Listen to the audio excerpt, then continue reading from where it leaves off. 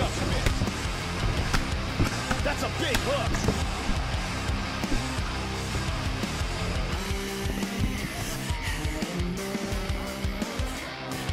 El Diablo with the block.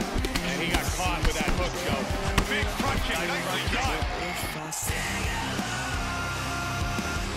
Takedowns in MMA are largely part of climbing.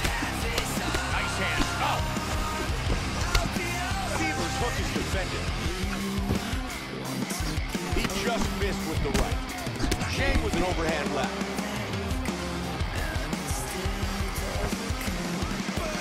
Good pro fighters always move well side to side.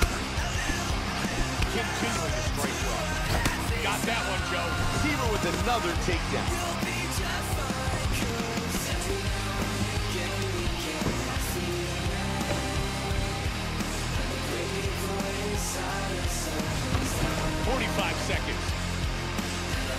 Free.